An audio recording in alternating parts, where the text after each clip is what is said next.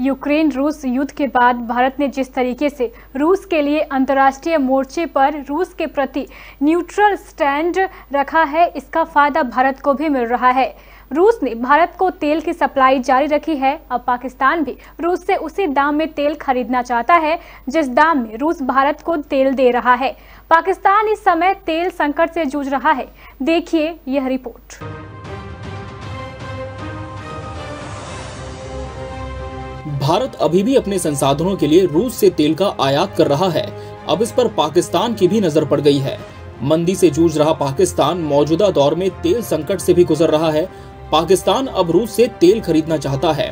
वो भी उसी दाम में, जिस दाम में इसकी सप्लाई भारत में रूस करता है।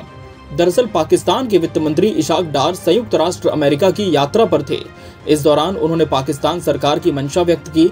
वित्त मंत्री इशाक डार ने कहा कि रूस भारत को जिस कीमत पर तेल की सप्लाई कर रहा है, अगर उसी कीमत पर वो पाकिस्तान को भी दे तो पाकिस्तान भी रूस से तेल खरीदने की दिशा में आगे बढ़ेगा। इशाक डार ने आगे कहा कि पश्चिमी देशों को पाकिस्तान के माध्यम से तेल खरीदने में कहीं कोई परेशानी नहीं होगी। हालाँकि इस दौरान वित्त मंत्री ये मानने से नहीं चुके कि वर्तमान समय में पाकिस्तान बाढ़ के दुष्प्रभावों से लड़ रहा है। जब पुतिन ने यूक्रेन से जंग छेड़ी थी, उस समय इमरान खान पाकिस्तान के प्रधानमंत्री थे, जो मॉस्को के दौरे पर थे।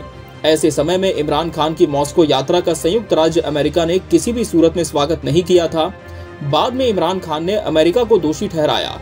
उन्होंने पीटीआई को पाकिस्तान की सत्ता से बेदखल करने में अमेरिकी साजिश का आरोप लगाया। उसी समय इमरान खान ने रूस के साथ ईंधन की कीमतों पर बातचीत के लिए भारत की प्रशंसा की थी। उन्होंने ये भी कहा कि मॉस्को की उनकी यात्रा पहले से तय थी।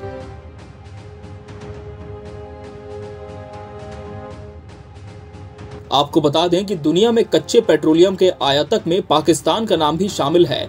वो विश्व में पैंतीसवा सबसे बड़ा आयातक देश है। 2020-21 में उसने एक दशमलव नौ दो अरब डॉलर मूल्य के कच्चे तेल का आयात किया।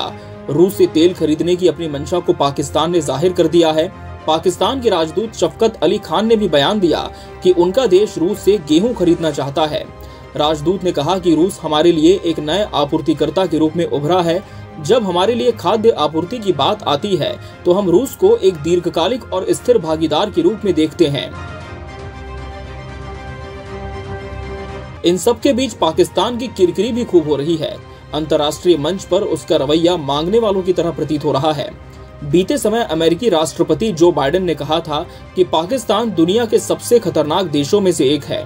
बाइडेन के इस बयान की पाकिस्तान के मौजूदा प्रधानमंत्री शहबाज शरीफ ने कड़ी आलोचना की थी और बाइडेन के बयान के जवाब में कहा था कि पाकिस्तान एक जिम्मेदार परमाणु राष्ट्र है। आपको बता दें कि बीते दिनों में अमेरिका पाकिस्तान के संबंध बिगड़े हैं। अब रूस के आगे तेल के लिए हाथ फैलाने की पेशकश कर चुका पाकिस्तान, क्या इस मामले में रूस की ओर से कोई सकारात्मक प्रतिसाद पाता है? ये फ़िलहाल देखने वाली बात होगी। वीडियो को लाइक करें, शेयर करें और चैनल को सब्सक्राइब करें। खबरों के नोटिफिकेशन के लिए बेल आइकन दबाना न भूलें।